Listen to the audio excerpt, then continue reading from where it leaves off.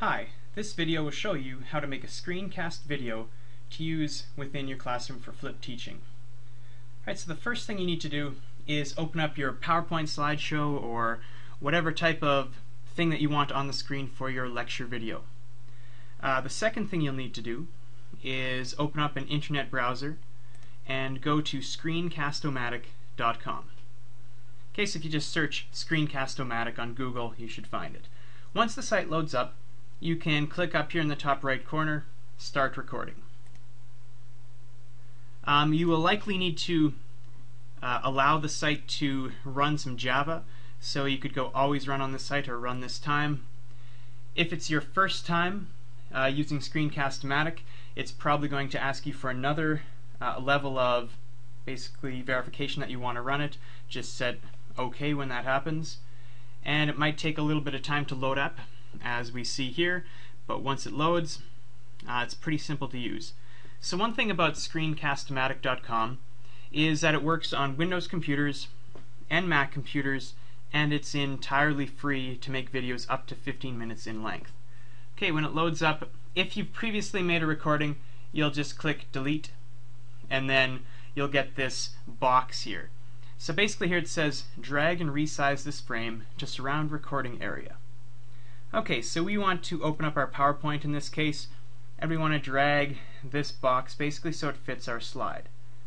This isn't the only way to do it. You could do it in full screen mode, but this way it works as well. So you fit it to that. You can adjust the corners a little bit if you want to. And then once you're ready to record, you'll be pressing this red record button here.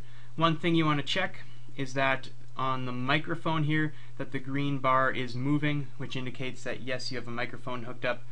You could click here and double check which microphones you have hooked up and which one you want to use. If nothing shows up, you'll need to hook a mic up to your computer. Okay, other things you could set are the size of your window. We just set that manually here. Right, you could set that automatically if you wanted to.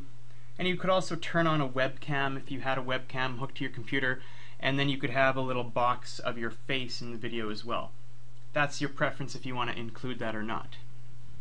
Okay, once you're ready to record, you just press the record button here. It'll do a quick countdown. Okay, now we're making a video. So you'll just talk and then go through your slides. You can be, hi, welcome to Exploring the Flipped Classroom. And click on your second slide here's the overview for our slideshow. Yada yada yada, and you will make your lecture video. Okay, once you've gone through all of your slides, right, you get to the end, then what you'll do is click Done here at the bottom of your box, and that'll bring you to this Screencast-O-Matic preview window. So you could press play here and just check that your recording worked. Okay, now we're making a video. So you'll just talk and then go through your slides. You okay, so the video appears to work. Then you have options to export it. it. says what do you want to do with this recording. I would recommend picking publish to video file and then if you want to upload to YouTube you can do that. If you want to upload it to a blog, upload it to ShareStream, you can do that. Okay, so if we go publish to video file, uh, you get to choose the video type. I would recommend sticking with the top one, QuickTime MP4 you can set the size of the video. We'd already set that earlier, so we'll leave that. You've got some other options.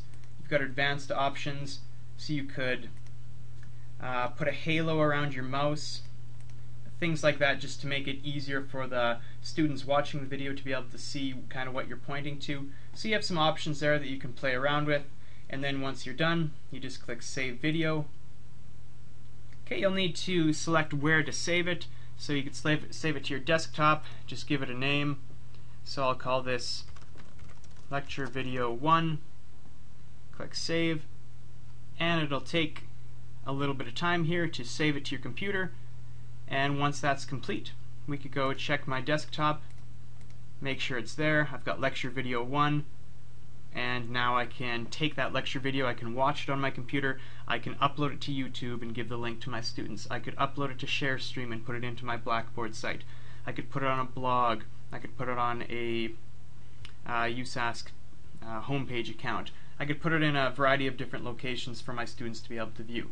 Alright, so that is a quick overview of how to use screencast-o-matic.com to make a lecture video to use within a flipped classroom. Alright, thank you for watching and good luck.